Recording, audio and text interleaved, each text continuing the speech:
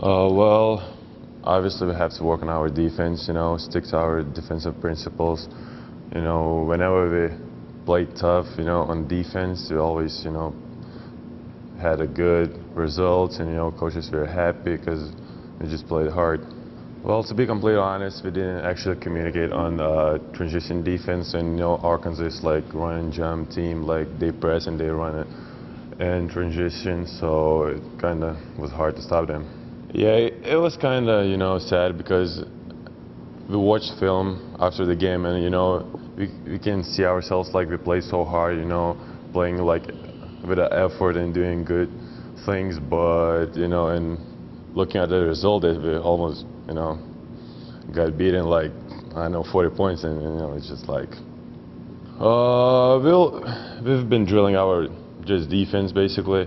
Uh, yesterday we just, you know, uh, we're cleaning up the defense basically. That, that's pretty much it.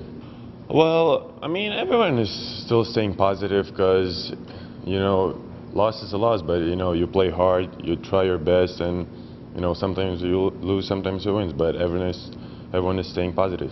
Well, I've played there just once, you know, in my freshman year, so it's kind of it's just awkward gym, yeah. So I, I, I don't know, it's uh, like I've been there once, but I pretty much like it. Like it's so much like space on the floor, so it's kind of fun to play. Is it like shooting at a football stadium, basically? It's it's pretty much same. It's pretty much same.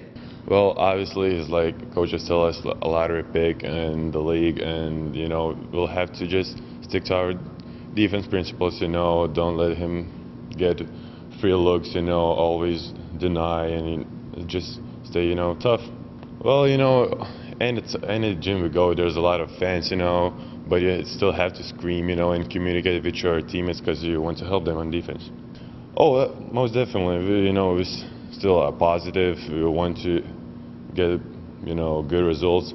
You know, we're way much better than the last year, so just, you know, uh, keeping the positive vibes.